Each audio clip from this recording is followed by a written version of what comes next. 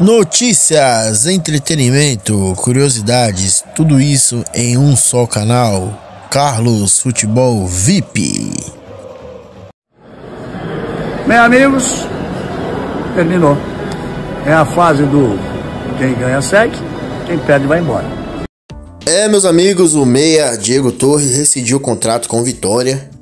Diego Torres, que tem 32 anos, fez boas partidas, mas acabou não tendo mais oportunidades com a camisa do Vitória. A rescisão do seu contrato já foi registrada no BID. Ao todo, o argentino vestiu a camisa do Vitória por 23 vezes, marcou 4 gols e deu 3 assistências.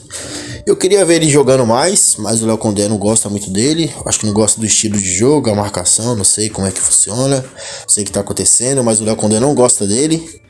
E o jogador vai jogar no Amazonas, a Série C do Campeonato Brasileiro. É, não tem o que fazer. Vai jogar a Série C. É o Amazonas que tá jogando muito bem a Série C, mas Diego Torres vai chegar para ser é, o grande camisa 10 lá do Amazonas. Comenta aí o que vocês pensam sobre isso. Deixa o like, se inscreva. Um abraço, até a próxima. Lembrando que essa foto que eu peguei foi lá no ECV Gols no Instagram, beleza? Tamo junto.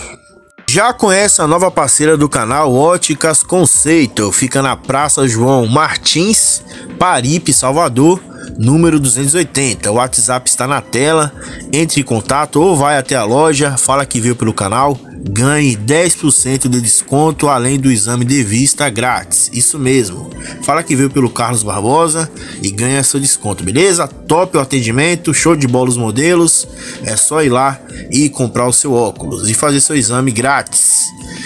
Um abraço, rapaziada. Até a próxima e vamos, Leão!